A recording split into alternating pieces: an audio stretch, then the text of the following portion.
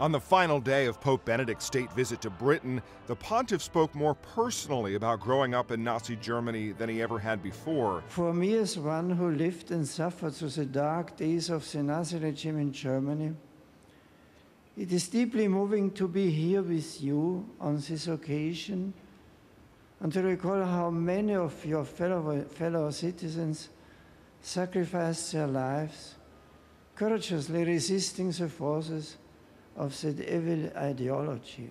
Benedict was forced to join the Hitler Youth and later served in the army before deserting. His comments also mark the 70th anniversary of the Battle of Britain.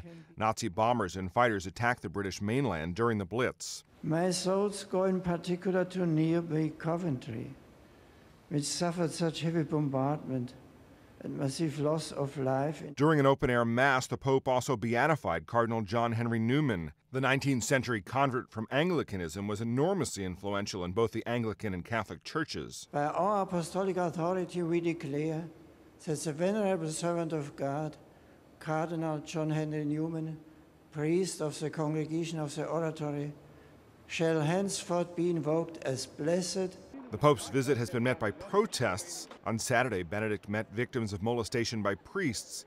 He said he was ashamed by such unspeakable crimes. Police, meanwhile, released six men who were arrested on suspicion of plotting an attack against the Pope. The men were freed without being charged. Police said searches had not uncovered any weapons or suspicious material. Matt Friedman, The Associated Press.